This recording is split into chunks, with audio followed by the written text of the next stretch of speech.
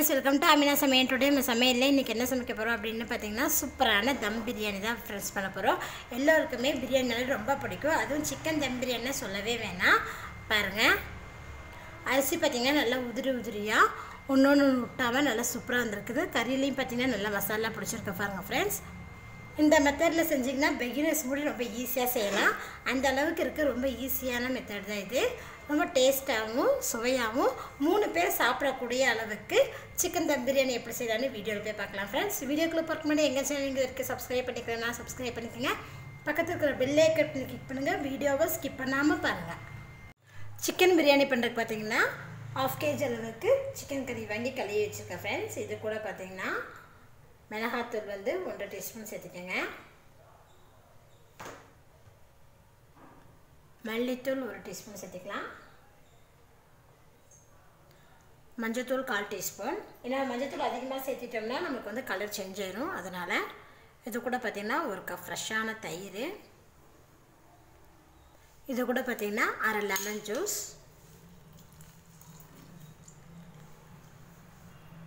அது போக சிக்கன் கறிக்கு தேவையான அளவுக்கு உப்பு சேர்த்துருக்கேன். ஒரு டீஸ்பூன் அளவுக்கு கரம் மசாலா தூள். இப்போ இதை நல்லா மிக்ஸ் பண்ணிக்கலாம். பார்த்திங்கன்னா நல்லா மிக்ஸ் பண்ணிவிட்டேன் இது வந்து இருபதுலேருந்து முப்பது நிமிஷம் வரைக்கும் நல்லா ஊற வச்சுக்கலாம். நம்ம தயிர் லெமன்லாம் சேர்த்தும் போது கறி பார்த்திங்கன்னா நல்லா சாஃப்டாக இருக்கும். பிரியாணி பண்ணுறக்கே நல்ல அதிகமான பாத்திரம் எடுத்துருக்கேன். பாத்திரம் சூடானதுமே இதில் பார்த்திங்கன்னா ஐம்பது எம்எல் எண்ணெய் சேர்த்துக்கலாம்.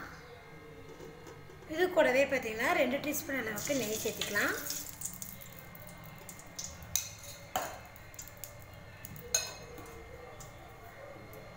எண்ணெய் நெய் நல்லா சூடான இதில் பார்த்திங்கன்னா ரெண்டு பிரியாணி இலை இது கூடவே பார்த்திங்கன்னா கொஞ்சம் ஸ்பைசஸ் சேர்த்துக்கலாம். பட்டை கிராம்பு ஏலக்காய் சேர்த்துருக்கேன். இதுலையுமே கொஞ்சம் கொஞ்சம் சேர்த்துக்கங்க.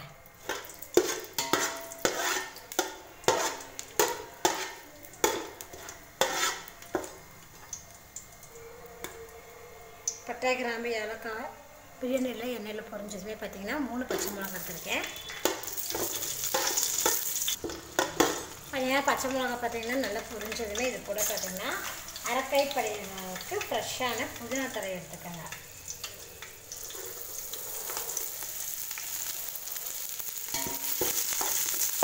புதினா தரையை நல்லா வதக்கி எடுக்கலாம்.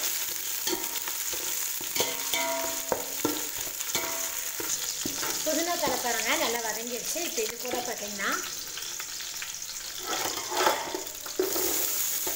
நாலு பெரிய வெங்காயத்தை நீல வக்கில் கட் பண்ணி வச்சுருக்கேன். அதில் சேர்த்துக்கலாம் சேர்த்துட்டு வெங்காயம் பார்த்திங்கன்னா நல்லா கோல்டன் ப்ரௌன் அளவுக்கு வதங்கணும். அந்த அளவுக்கு வெங்காயத்தை நல்லா வதக்கி விட்டுருங்க. வெங்காயம் பார்த்திங்கன்னா நல்லா வதங்கி வச்சு பாருங்கள் இந்த அளவுக்கு வெங்காயத்தை நல்லா வதக்கி விட்டுருங்க. இப்போ இது கூட பார்த்திங்கன்னா நம்ம இஞ்சி பூண்டு பேஸ்ட் ஆட் பண்ணிக்கலாம். இஞ்சி பூண்டு பேஸ்ட் வந்து நாலு டீஸ்பூன் சேர்த்துருக்கேன்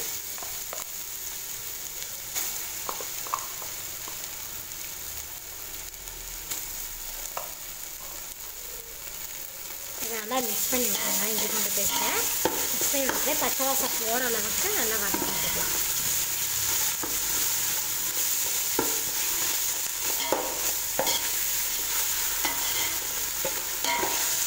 அரை கிலோவுக்கு பார்த்தீங்கன்னா பூண்டு வந்து அறுபது கிராம் எடுத்துக்காங்க இஞ்சி வந்து ஐம்பது கிராம் எடுத்துக்காங்க அரை கிலோ அரிசி அரை கிலோ கறிக்கு வந்து இந்த அளவு எடுத்திங்கன்னா சரியாக இருக்கும். இஞ்சி பூண்டு பேஸ்டோட பச்சை வாசம் போகிற அளவுக்கு பார்த்திங்கன்னா நல்லா வதக்கிட்டோம். இப்போ இது கூட பார்த்திங்கன்னா நம்ம ஊற வச்சுருக்கிறேன் மசாலா போட்டு ஊற வச்சுருக்கிறேன் சிக்கன் கறியை இதில் ஆட் பண்ணிக்கலாம்.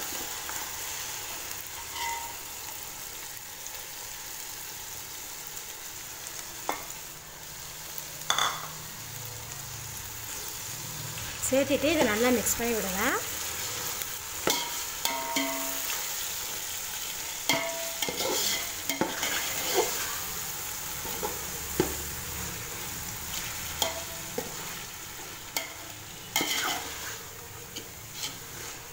கறி பார்த்திங்கன்னா நல்லா வதங்கணும் ஃப்ரெண்ட்ஸ் அதனால் கொஞ்சம் நேரம் நம்ம பார்த்திங்கன்னா ஹை ஃப்ளேம்லேயே வச்சு கறி நல்லா வதக்கி விட்டுக்கலாம்.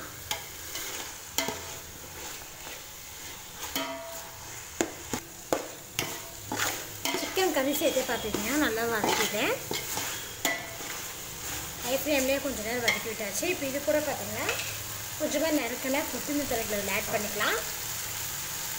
இது கூடவே பார்த்திங்கன்னா மூணு தக்காளி பழத்தை கட் பண்ணி வச்சுருக்கேன். நாட்டு தக்காளியாக எடுத்துக்கோங்க அதுதான் பிரியாணி நல்லா டேஸ்ட்டாக இருக்கும். இப்போ அதையும் இதில் சேர்த்துக்கலாம் சேர்த்துட்டு இதை நல்லா மிக்ஸ் பண்ணி விடுங்க.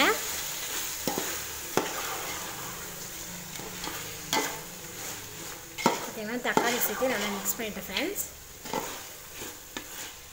இப்போ இது பார்த்தீங்கன்னா மீடியம் ஃப்ளேமில் கொஞ்சம் மூடி போட்டு வச்சுருவோம்.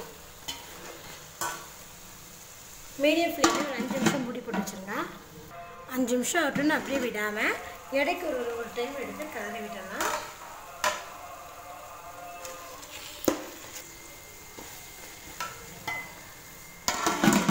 கிளறிட்டு மூடி வச்சுட்டேன். கொஞ்சம் நேரம் நல்லா வதங்கட்டும் ஃப்ரெண்ட்ஸ் அஞ்சு நிமிஷம் ஆயிடுச்சு. இப்போ மூடி ஓப்பன் பண்ணி பார்க்கலாம். தக்காளி பார்த்திங்கன்னா வந்தைக்கு வதங்கியிருக்கு பாருங்கள் நம்ம வதக்கிறதுலே பார்த்திங்கன்னா சிக்கன் பார்த்திங்கன்னா நான் குக் ஆயிடுச்சு கொஞ்சம் அடி பிடிக்காத அளவுக்கு நல்லா கிளம்பிக்கிறேன்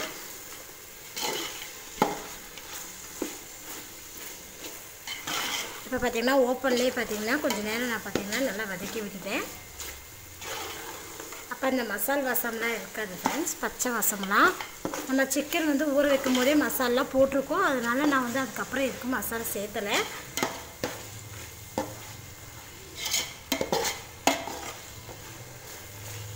இப்போ பார்த்திங்கன்னா நம்ம நல்லா வதக்கி விட்டுட்டோம். இப்போ இது கூட பார்த்திங்கன்னா அளவு தண்ணி சேர்த்துக்கலாம். இந்த டம்ளரில் பார்த்திங்கன்னா மூணு டம்ளர் அரிசி எடுத்திருக்கேன். இந்த டம்ளருக்கு ஒன்றரை ஒரு ஒரு டம்ளர் நம்ம அரிசி எடுத்தோம்னா ஒன்றரை டம்ளர் அளவுக்கு நம்ம தண்ணி சேர்த்தணும் ஸோ மூணு டம்ளருக்கு நாலரை டம்ளர் தண்ணி சேர்த்துருக்கேன்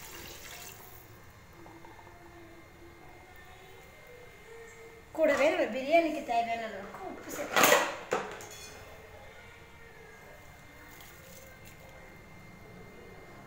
உப்பு சேர்த்துட்டு இதை நல்லா கலந்து விட்டுருங்க. உப்பு சேர்த்துட்டு நல்லா கலந்து விட்டாச்சு. இப்போ ஹை ஃப்ளேமில் வச்சுட்டேன். மூடி போட்டுடலாம். தண்ணி கொதிக்கட்டும். பார்த்தீங்கன்னா அஞ்சு நிமிஷம் எல்லாம் ஹை ஃப்ளேம்லேயே வச்சுருந்தேன்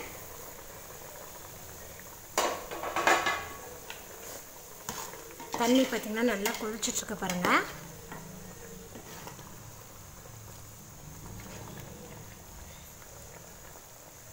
இப்போது ஃப்ளேம் வந்து லோ ஃப்ளேமில் வச்சுட்டு அரிசி சேர்த்திக்கலாம். நான் பார்த்தீங்கன்னா மூணு டம்ளர் பாசுமதி அரிசி பார்த்தீங்கன்னா ரெண்டு தடவை தண்ணியில் கழுவி தண்ணி இல்லாமல் எடுத்து வச்சுருக்கேன். அது இதில் சேர்த்திக்கங்க.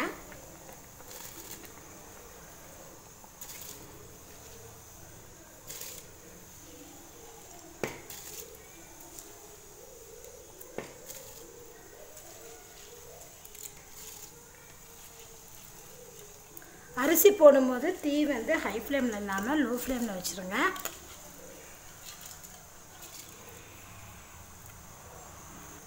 அரிசி சேர்த்துட்டு அரிசி சேர்த்துட்டு நல்லா கலந்து விட்டுக்கலாம். இப்போ ஃப்ளேம் வந்து ஹை ஃப்ளேமில் வச்சுருங்க.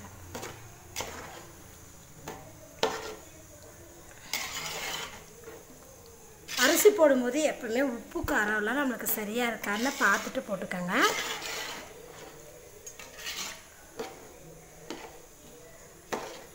பார்த்தா அரிசி வந்து பார்த்திங்கன்னா நம்மளுக்கு முக்கால் பங்கு வேகணும். ஸோ அதனால் ஹை ஃப்ளேம்லேயே மூடி போட்டு ஒரு ரெண்டு மூணு நிமிஷம் வச்சுக்கலாம். ரெண்டு மூணு நிமிஷம் பார்த்திங்கன்னா ஹை ஃப்ளேம்லேயே வச்சுருந்தேன். இப்போ பார்ப்போம்.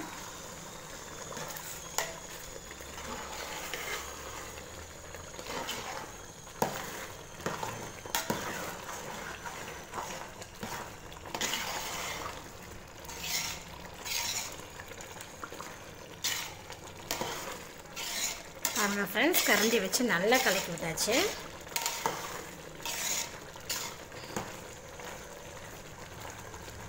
கறி பார்த்தீங்கன்னா நம்ம வதக்குனதே பார்த்தீங்கன்னா எழுபது பர்சன்டேஜ் நல்லா குக் ஆயிடுச்சு இப்போ தம்முலேயே பார்த்தீங்கன்னா கொஞ்சம் குக் ஆகிடும் இப்போ நம்ம தம் விட்டுக்கலாம். ஃப்ளேம் வந்து லோ ஃப்ளேமில் வச்சுருங்க. வச்சுட்டு இதை நம்ம மெதுவாக எடுத்து வச்சுக்கலாம் பார்த்தீங்கன்னா தோசைக்கல் எடுத்திருக்கேன். தோசைக்கல் மேலே பிரியாணி பாத்திரத்தை வச்சிருக்கேன். வச்சுட்டு மூடி போட்டு பத்து நிமிஷம் தம் விட்டுக்கலாம். இதுக்கு மேலே பார்த்திங்கன்னா ஒரு பாத்திரத்தில் தண்ணி ஃபுல்லாக எடுத்து வச்சுருக்கேன். பத்து நிமிஷம் தம்மில் இருக்கட்டும். பத்து நிமிஷம் பார்த்திங்கன்னா தம்மில் விட்டுருந்தேன். எப்போ ஓப்பன் பண்ணி பார்க்கலாம்.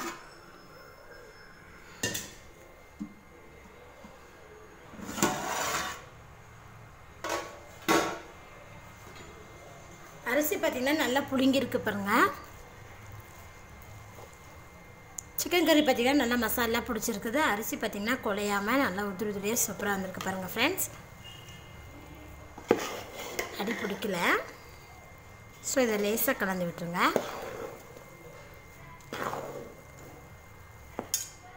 அதான் ஃப்ரெண்ட்ஸ் நம்மளோட சூப்பரான சிக்கன் பிரியாணி பார்த்திங்கன்னா ரொம்ப ஈஸியாக வச்சுட்டோம்.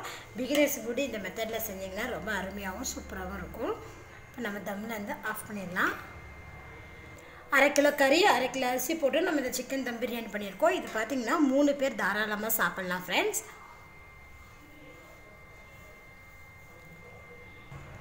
இந்த சிக்கன் தம் பிரியாணிக்கு வந்து தயிர் பச்சடி இதெல்லாம் நீங்கள் சைட் வச்சு சாப்பிட்டிங்கன்னா ரொம்ப அருமையாக இருக்கும். நீங்களும் இது போல் செஞ்சு பாருங்கள் செஞ்சு பார்த்துட்டு உங்கள் ஃபீட்பேக்கை சொல்லுங்கள் என்னோட இந்த வீடியோ உங்களுக்கு பிடிச்சதுனா லைக் பண்ணுங்கள் உங்கள் ஃப்ரெண்ட்ஸ் ஷேர் பண்ணுங்கள் மறக்காமல் ஆமினா சமைச்சதை சப்ஸ்கிரைப் பண்ணிக்கோங்க. நன்றி.